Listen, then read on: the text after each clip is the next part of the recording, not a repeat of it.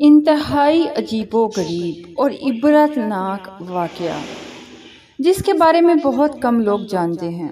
वो दोनों जिस जगह पर गुनाह करने लगे थे, वो रोए ज़मीन का सबसे ज़्यादा मुकद्दस मकाम था। जैसे ही उन्होंने गुनाह किया, उसी वक्त उनके जिसम पत्थर होने लगे। इनकी रूहें कब्ज कर ली गईं और गोश्त पोस्ट के जिसम पत्थर के बनते चले गए। इर्द गिर्द कोई भी नहीं था। इसलिए जो कुछ इन पर गुजरी, इसके बारे में खुद इन्हीं के सिवा किसी को नहीं पता चला। ये तारीख का इंतहाई अजीबो गरीब और खौफनाक तरीन वाक़ था। दो ज़िंदा इंसान, जिनमें से एक मर्द था और दूसरी औरत थी।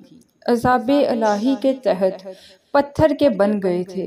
कुछ देर गुजरी तो उधर से किसी का गुजर हुआ। इसने इनको देखा और पहचान लिया। ये भी मालूम हो गया कि इन्होंने इस मुकदस मुतबरक तरीन मुकाम पर कैसा गनावना काम किया था, जिसकी फौरी तौर पर पकड़ हो गई थी। लोगों का मारे गुस्से और दुख के इंतहाई बुरा हाल हो गया। इन दोनों पत्थरों के बुतों को निशान इबरत बनाने के लिए इस ज़माने के अहले इल्म और नेक लोगों ने इनको इस मुकद्दस मकाम से कुछ दूर उसी इलाके में एक दूसरे से काफ़ी लंबे फासले पर आमने सामने नस्ब कर दिया। इस मुकद्दस मुकाम पर इबादत के लिए आने वालों के लिए लाजिम करार दे दिया गया कि इन दोनों के बुतों को जूते मारते हुए गुजरा जाए। ताकि देखने वालों को जहनों में इनका किया हुआ गुनाह ताज़ा रहे और वो इस वाक़े से इबरत हासिल करते रहें।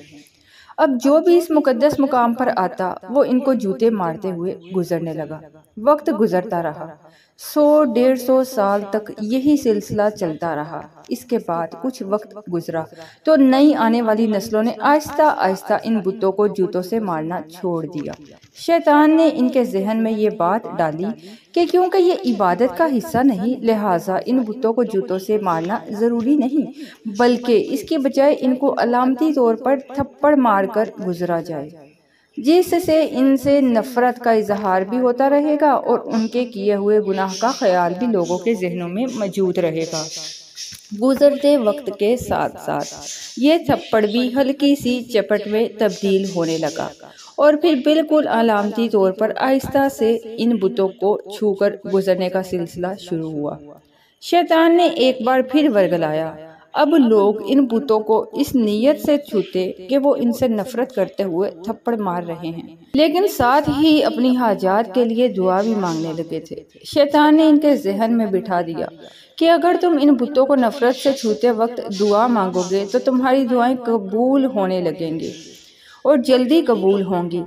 यहाँ शैतान की शरारतें देख लीजिए। कैसे आहिस्ता आहिस्ता जहनों को तब्दील करता है।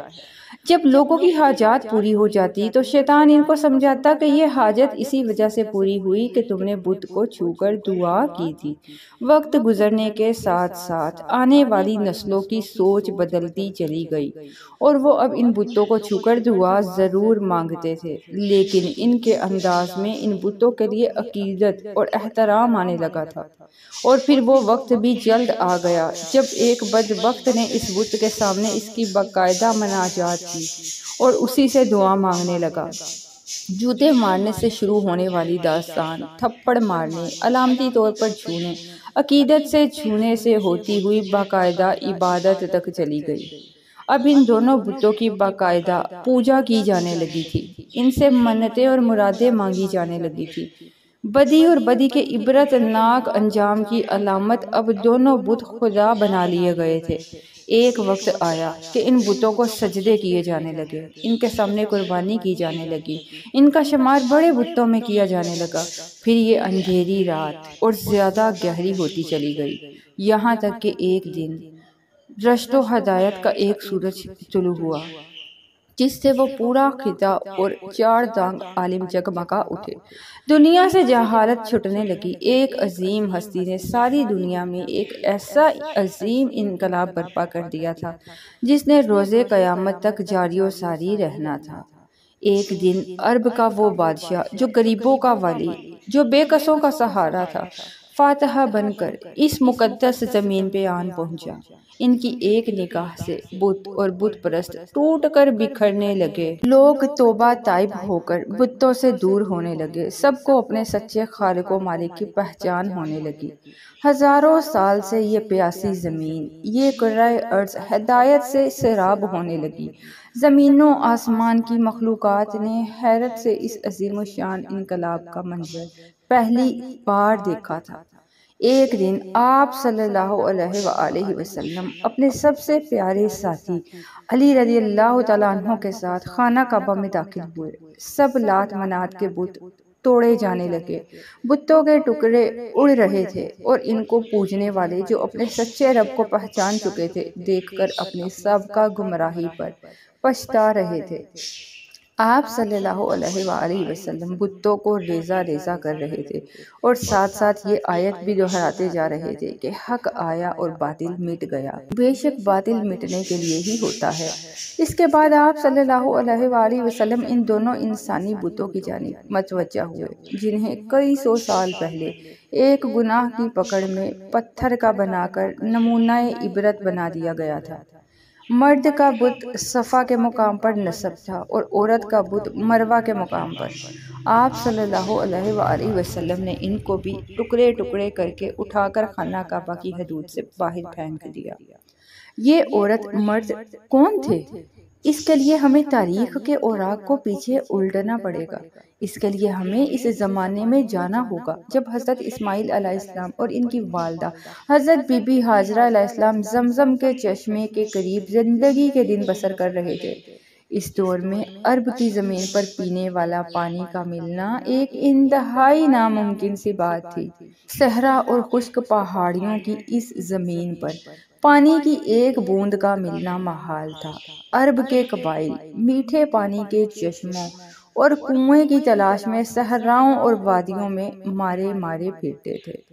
ये मोजा चश्मा जो नन्हे इस्माइल अलैहिस्सलाम के एड़ियाँ रगड़ने से मोजाती तौर पर अल्लाह की तरफ़ से पैदा किया गया था। इस बेआबो गया इलाके में। दुनिया की सबसे बड़ी नेमत से कम नहीं था। और एक कबीला जो बनी जरहम के नाम से तारीख में मशहूर गए, वो भी मीठे पानी की तलाश में सहराओं की खाक छान रहा था। इन्होंने जब दूर से परिंदों को उड़ते देखा तो इनको हैरानगी हुई क्योंकि सहरा में परिंदों का पाया जाना पानी की अलामत था।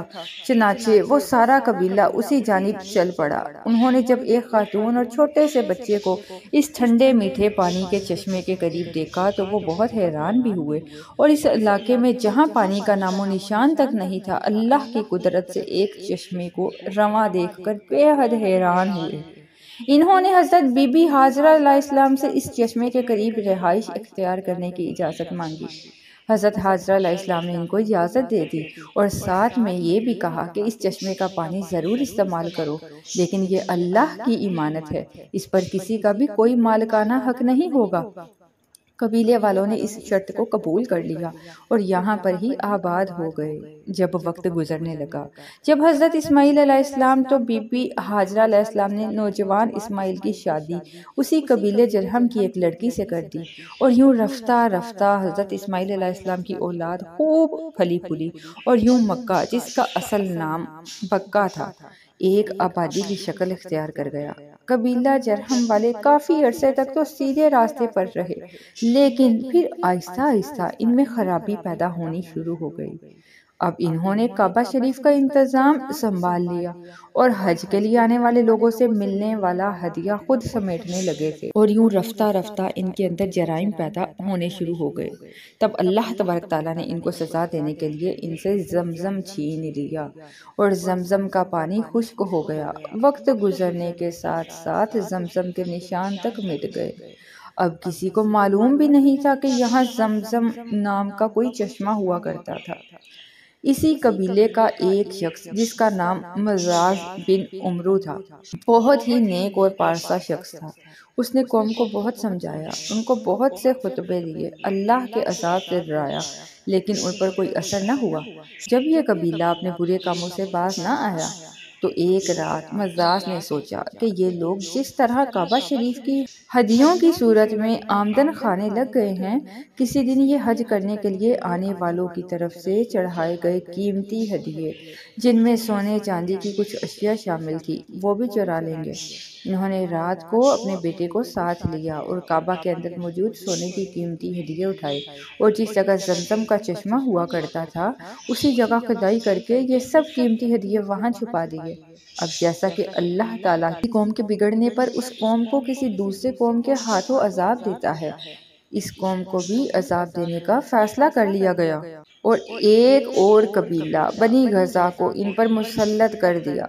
बनी गजा वालों ने बनी जरहम को मार मार कर मक्का से निकाल दिया। इनके कबीले के कसीर तादाद में अफराद को कत्ल कर दिया गया। और यूँ लुटे पटे बनी जरहम यमन में जाकर आबाद हो गए। इसी जमाने में इस कबीले के यहाँ एक लड़की और लड़की ने जन्म लिया। लड़के का नाम ईसा बिन यला था और लड़की का नाम नायला बिनत जैद था। दोनों जब जवान हुए तो एक दूसरे के इश्क में गिरफ़्तार हो गए। और इन्होंने आपस में नाजायज ताल्लुक कायम कर लिए। एक बार ये दोनों हज के लिए एक काफले के हमरा मक्का मुकरमा गए। खाना काबा में इनको तनहाई मैसर आई तो इन्होंने एक कभी फाल करने का इरादा कर लिया। चनाचा जैसे ही गुनाह के मरतकब हुए तो इन्हें अजाब अलाही ने आन घेरा यूँ वो पत्थर के बुत बना लिए गए। अब इसके आगे क्या हुआ, वो तो आप सुन चुके हैं। जब इनके बुत नबी करीम सल्लल्लाहु अलैहि वसल्लम ने खाना कबा की हदूद से बाहर फेंकवा दिए तो उस वक्त मुसलमानों के जहन में सफ़ा मरवा के दौरान सही के बारे में शक व शुबा पैदा हो गया। वो सोचने लगे कि क्योंकि सफ़ा और मरवा पर दोनों के बुत पहले नस्ब थे, जिनका तवाफ़ जाहलीत के ज़माने में किया जाता था। लिहाजा इनका सफ़ा मरवा का तवाफ़, कहीं इन बुतों की याद में तवाफ़ ना साबित हो, जिसकी वजह से इन पर भी अल्लाह का अजाब नाजिल हो जाए। इस पर सोया बकरा की आयत नंबर 158 नाजिल हुई, जिसमें अल्लाह तबारा ताला ने इरशाद फरमाया, बेशक सफ़ा और मरवा अल्लाह की निशानियों में से है। सो जो शख्स हज करे, बैतुल्लाह का या उम्र करे तो नहीं है कुछ गुना उस पर जो सही करे।